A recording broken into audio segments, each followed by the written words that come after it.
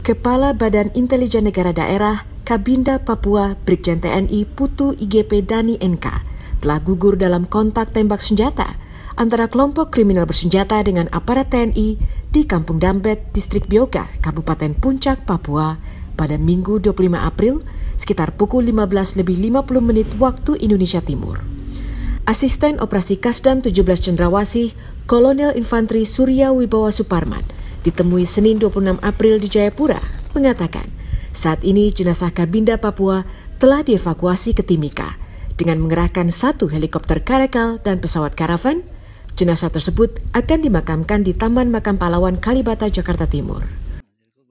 Ucapkan turut berduka cita atas meninggalnya Bupati Kapinda Kapinda Papua.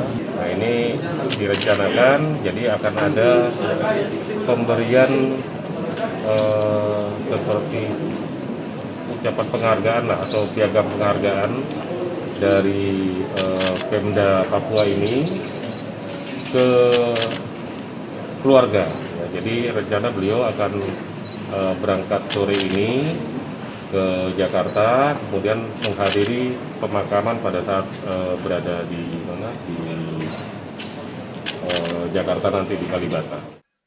Sekretaris Daerah Papua Dance Yulian Flasi mengutuk keras tindakan yang dilakukan KKP. Pihaknya akan memberikan penghargaan kepada Kabinda Papua yang telah gugur dalam tugas pengamanan di Papua. mengutuk keras tindak yang tindakan yang dilakukan oleh kelompok kriminal terhadap eh, seorang TNI bintang satu itu tidak berperi kemanusiaan.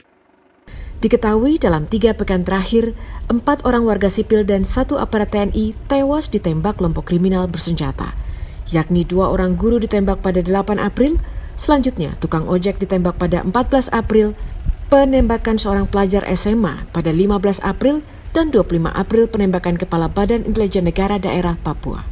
Aparat gabungan TNI Polri tengah berupaya mengejar kelompok kriminal bersenjata. Dari Jayapura, Papua, Laksa Mahendra, Kantor Berita Antara, mewartakan.